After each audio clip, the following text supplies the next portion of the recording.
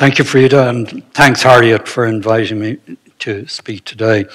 It falls to me to talk to you about a lady whose name is probably the least well known among those being discussed here today. Isabella, later shortened to Ella Ovenden, was born in 1877 in this city to Charles Ovenden and his wife, Isabella Robinson.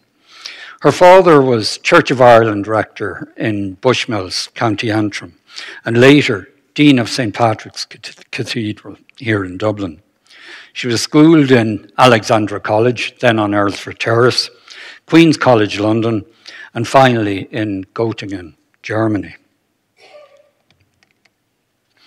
Graduating in 1899 with a science degree from the Royal University of Ireland, she entered the Catholic University School of Medicine, seen here on Cecilia Street in Temple Bar.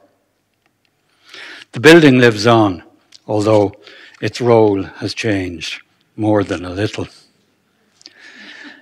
Isabella qualified in 1904, the earliest female student to achieve first place in the final medical examinations of the Royal. The university magazine, St. Stephen's, commented It was a record to gain it over so many competitors of the sterner sex, which, until recently, regarded medicine as exclusively its own ground, which they did. She won a travelling scholarship to Vienna and was awarded an MD in 1906.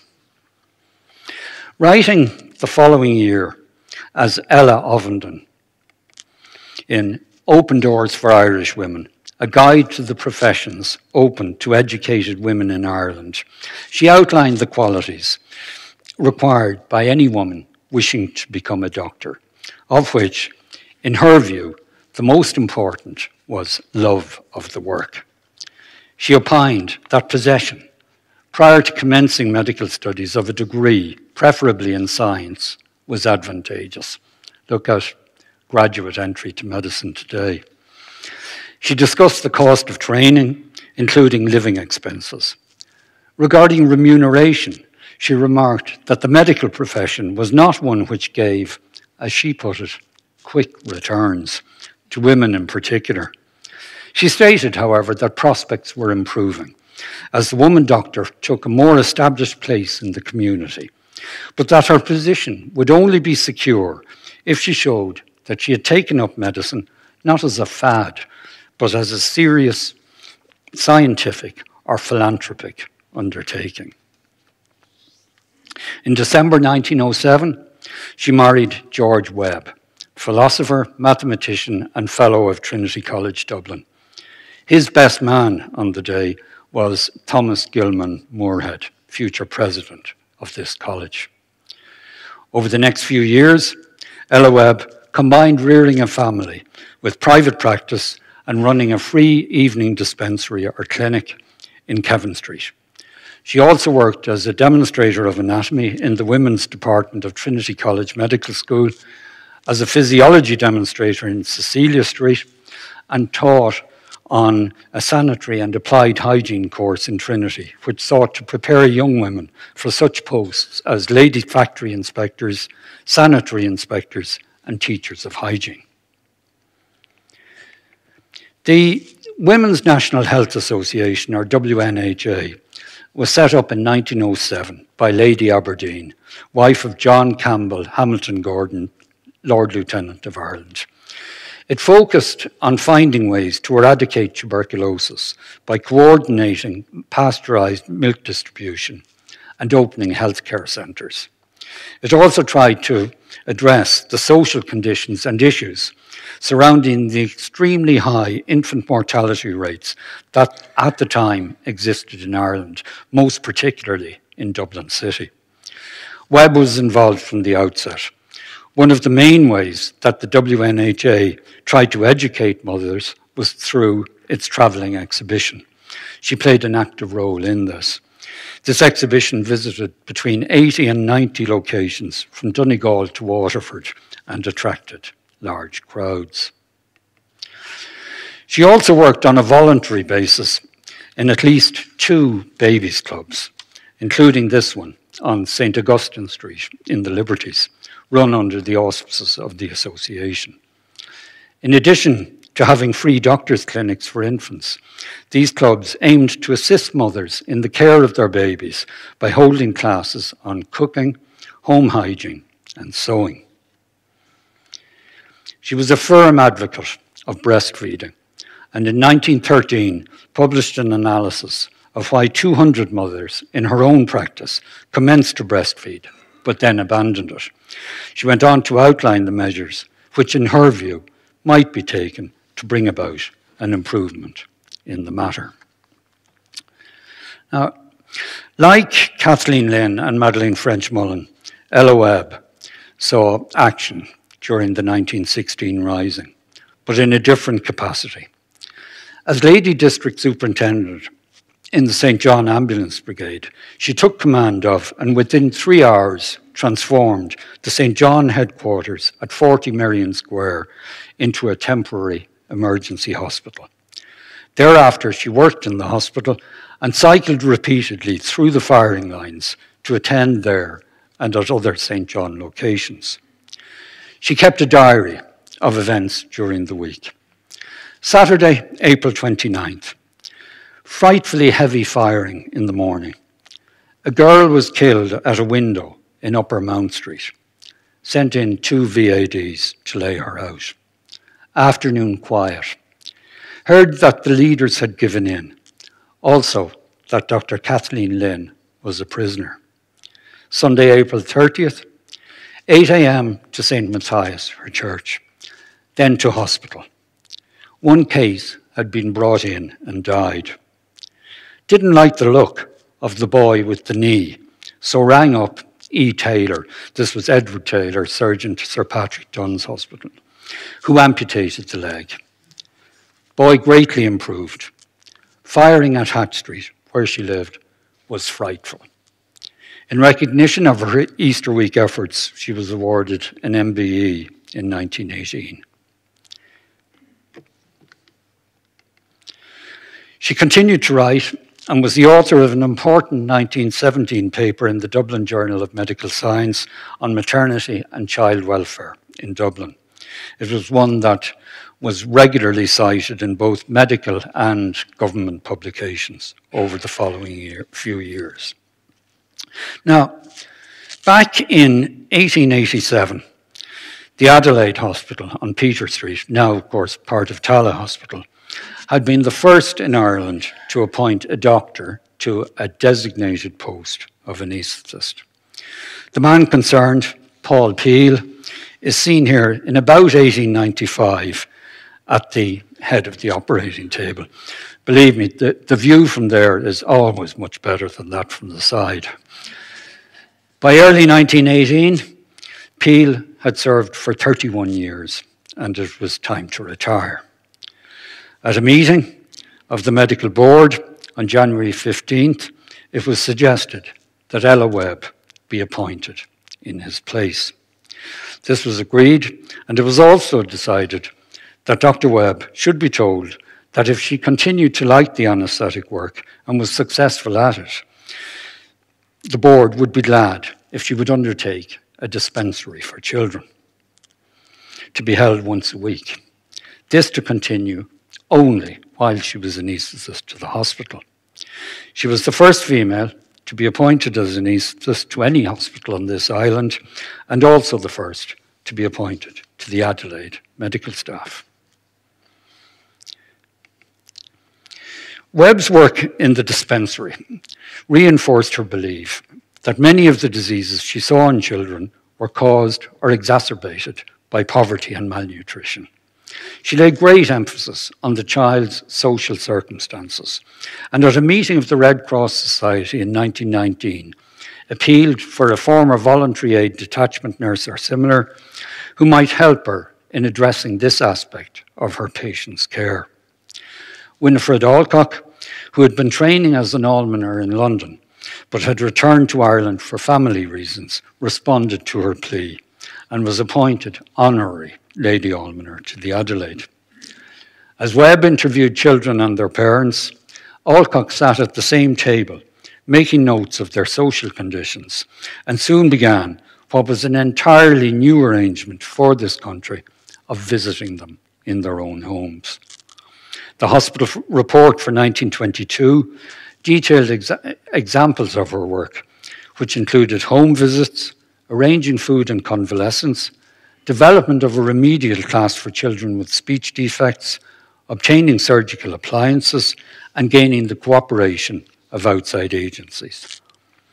2,300 visits to 889 families, some carried out by volunteer friends of Alcock's, were recorded in that year alone.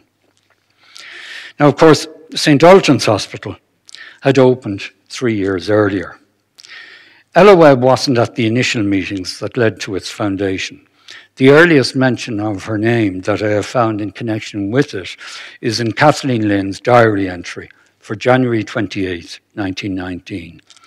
I'm not absolutely sure what Lynn meant by came over HOSP, whether Webb and Solomons had come to see 37 Charlemont Street, or alternatively to discuss it, perhaps at another location. But one way or the other, two weeks later, Lynn wrote, saw Dr. Webb 12.30, she will come on staff of HOSP. When one considers, on the one hand, Webb's record in caring for the mothers and children of inner city Dublin over the years, and on the other, the aspirations of Lynn, Madeleine French Mullen, and others, where St. Ultan's was concerned, she must surely have been considered to be a most valuable addition to the medical staff. The information that I have concerning her contribution to the hospital comes mainly from an examination of material held here in the college, the St. Ultan's archive and Lynn's diaries. It is clear that once she had made a commitment to the institution, she became actively involved. Kathleen Lynn wrote on March 4th that Webb, among others, was covering number 37, as she referred to it. The minutes of a hospital executive committee meeting held on May 28 refer to a discussion on a meeting to be held in the Mansion House on June 4th to open a subscription list for the hospital. The speakers were to be the Lord Mayor of Dublin, a prominent businessman, a senior judge, and Ella Webb, the only doctor on the list. The first meeting of the medical committee, later renamed the medical board, took place on June 30th, and she was elected chairman. This was the term used, and she held the position for the following six years. In her work at St. Ultan's, and also in her dispensary at the Adelaide, she treated many cases of childhood rickets. In 1919, the precise etiology of the condition was still uncertain, but Webb had no doubt that the appalling living conditions and diets of many of her young patients in the tenements of Dublin slums were a major contributory factor. Sunlight was promoted for prevention and healing, and the St. Ultan's annual report for 1923 stated that the infant patients were exposed to it all year round. I quote, Our babies have been out in the sunshine all through the winter months. They have been kept warm and comfortable in their flannel bags and have derived much benefit from the air and sun. And as Anne has just mentioned, this was how they did it. Um, I don't know how many of you remember the, um, the old drifters hit up on the roof. Um, no, a sea of blank faces. Uh, rest easy, I'm not going to try and sing it for you. The discovery that same year that a form of artificial light, ultraviolet, could provide the same protection as sunlight was of particular significance in northern European countries. The importance of this finding was recognized by Ella Webb, and she soon began to use UV light treatment in her own home. She went further and later wrote In the year 1923, I was so much struck with the futility of my own treatment of rickets that I determined something must be done about it. I was fortunate enough to arouse the interest and enlist the sympathy of a friend who was willing to give some financial assistance to the extent of £250 a year until we got established. Through St. John Ambulance, she knew a lady named Letitia Overend, seen here on the right with Webb on the left, and it may have been she who was providing the £250 per year. Overend was the daughter of a wealthy Dublin solicitor and farmer. The family lived at Airfield, near Dundrum. The Airfield estate, bequeathed to Ireland in the 1990s, has a working farm to this day, the closest one to Dublin city centre, and is also a, visiting, a visitor attraction. Letitia was well known in the neighbourhood. She purchased a Rolls Royce Phantom in 1927. And um, this image is, in fact, a still from a Television, as it was then, interview with her in the 1960s. She drove and serviced her car, which is now on display at Airfield, until not long before her death at 97 years of age in 1977. And I have my own childhood memories. I'm not going to tell you how far back they go um, of seeing the rich lady driving around Stillorgan and Dundrum in her fancy car um, way back when. Ella Webb was aware, well aware, that her rickets patients could not be permanently cured without adequate food and care after hospital treatment. This was often not available at home. She and her friend explored the possibility of finding somewhere to look after them. Both ladies had attended Alexandra College. They enlisted the help of fellow past pupils, and a fundraising committee was formed. Overend's uncle provided a massive impetus by donating £5,000 towards the project. The group searched in vain for suitable premises and eventually decided that it would make more sense to build their own. In 1924, the board of Stillorgan Convalescent Home offered to lease a field to them, and a wooden bungalow type house with two wards, each with a south facing veranda, was planned. The Children's Sunshine Home opened in March 1925. Ella Webb was chairman and principal medical officer from the opening until her death over 20 years later. So by 1925, Webb was heavily committed to the Sunshine Home, was working in St. Ultan's, was an anaesthetist to the Adelaide, and continued to run a children's dispensary there.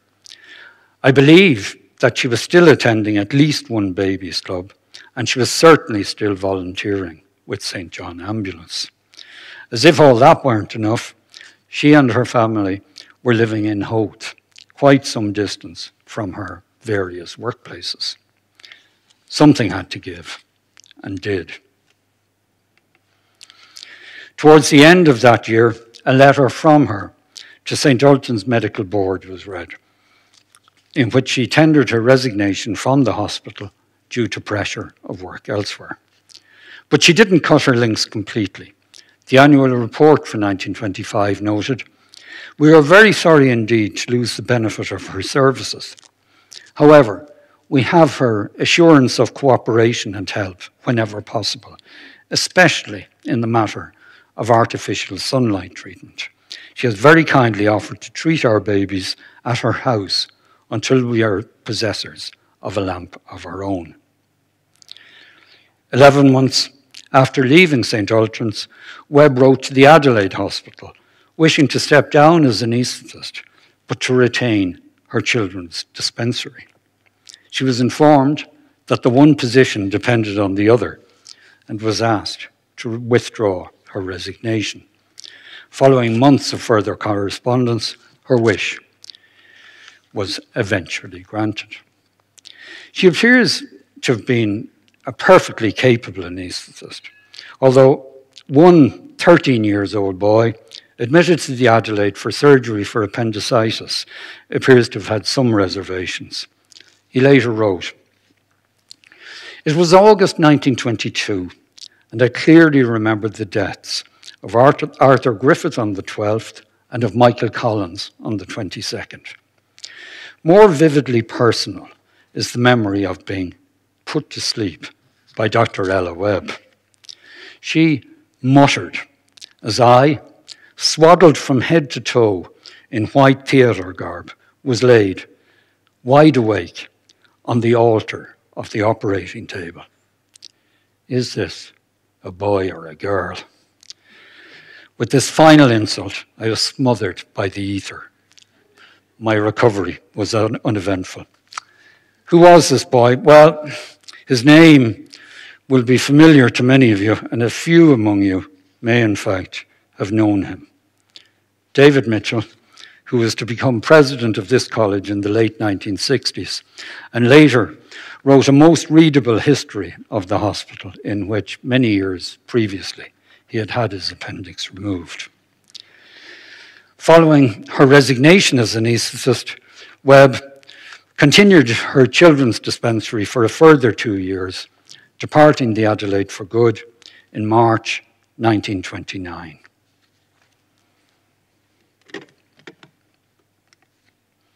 But look, an entry in Kathleen Lynn's diary from the previous month. Once back at St. Ultan's, Webb resumed where she had left off.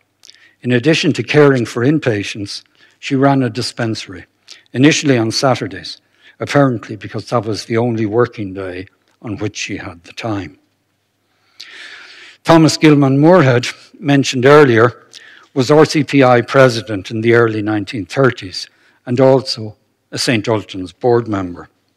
At his suggestion, she involved herself in postgraduate education in pediatrics and later became an active participant in the discussions regarding the proposed merger of St. Ultan's with the National Children's Hospital in Harcourt Street.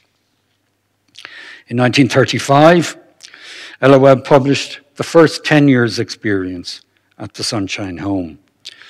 She outlined the steps taken that resulted in its opening and then described the management of rickets there.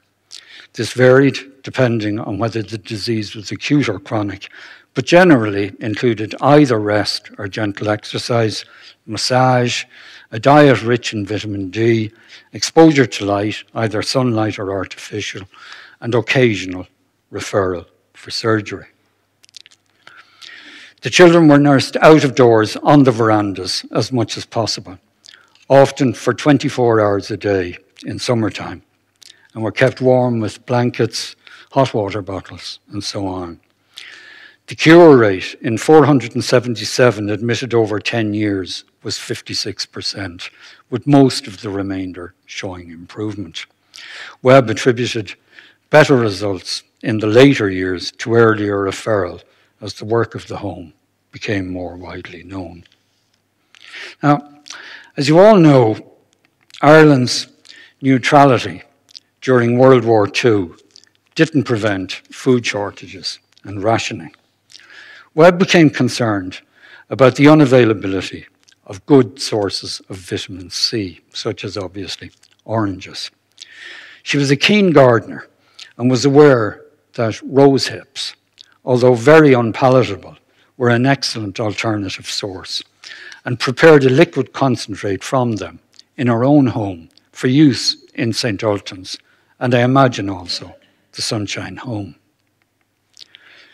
This couldn't last forever, and in 1944, she reported to St. Ultan's Medical Board on discussions she had on the commercial manufacture of vitamin C with the Dublin jam makers, Lamb Brothers, perhaps better known to most of you as the originator of the brand name Fruitfield jam.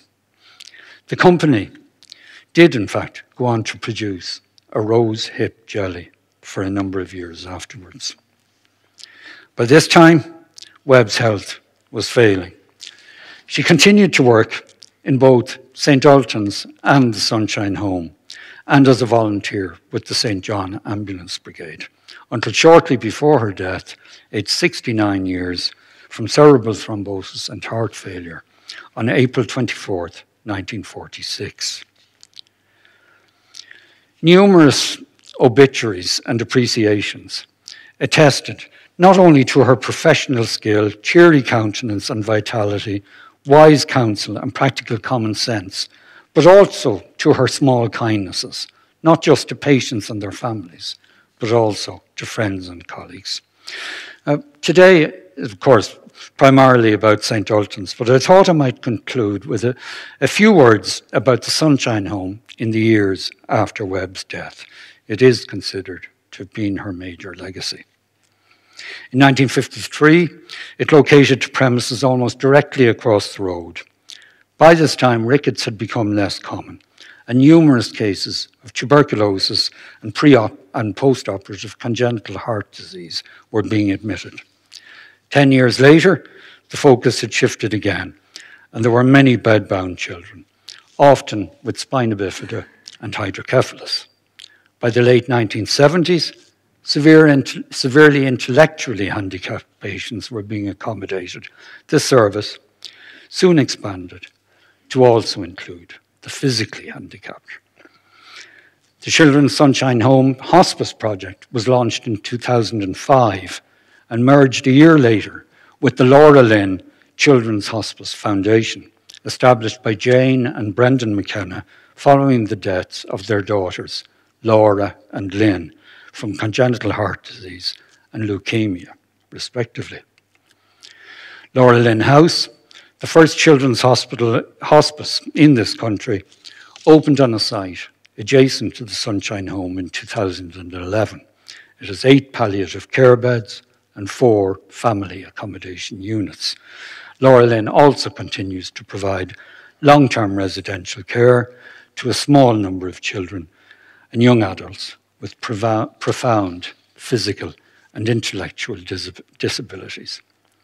I leave you with a final quote from the subject of my talk, and I trust you'll agree that Ella Webb more than lived up more both before and after making it to this promise that she made 97 years ago. Thank you for listening.